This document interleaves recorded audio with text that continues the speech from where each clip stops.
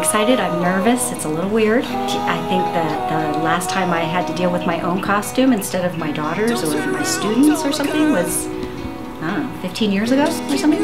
But I'm having a really good time. you should fall asleep, we'll all hold up your head.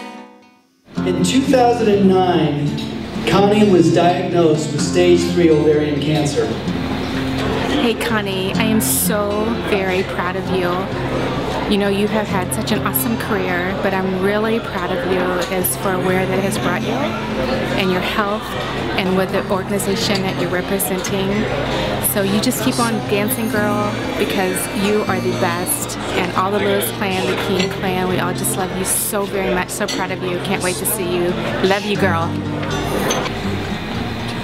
She was afforded the opportunity to participate in a research project with the Women's Cancer Research Foundation. Hey Connie, I'm so proud of you. I love you so much. I'm really proud of all that you've done. You're gonna do awesome tonight. We're really excited for you. We're all pulling for you.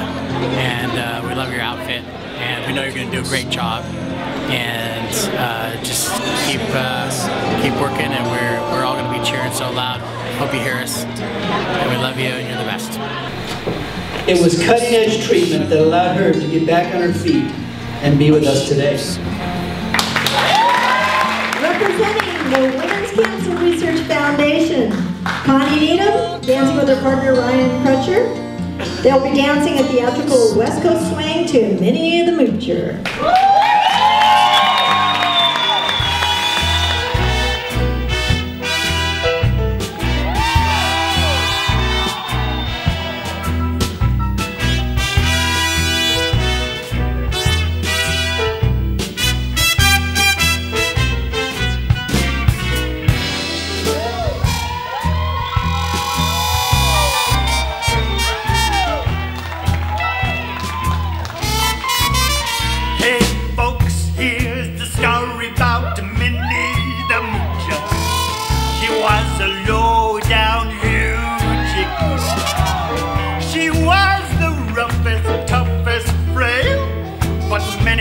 Had a heart as big as a whale.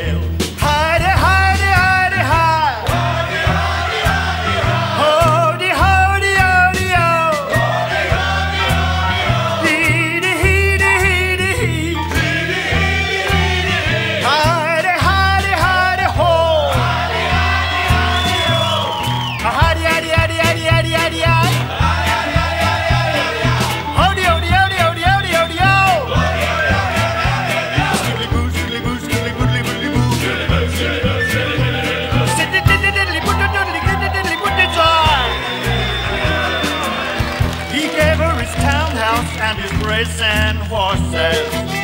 Each meal she ate was a dozen courses. Had a million dollars worth of nickels and dimes.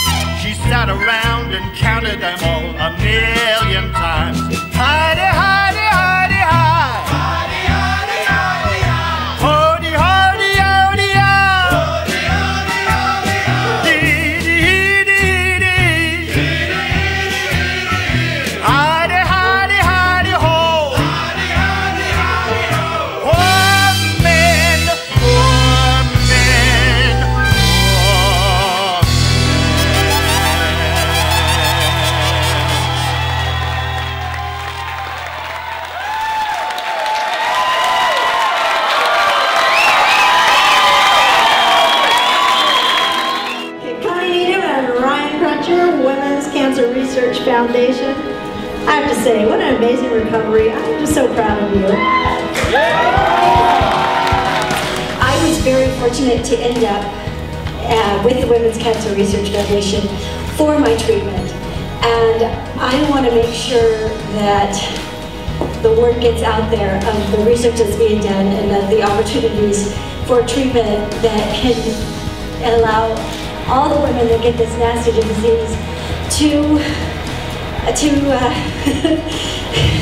to recover like I did, and uh, hopefully it's that nasty stuff stays away. I'm doing really good, and thank you, thank you, my doctors, and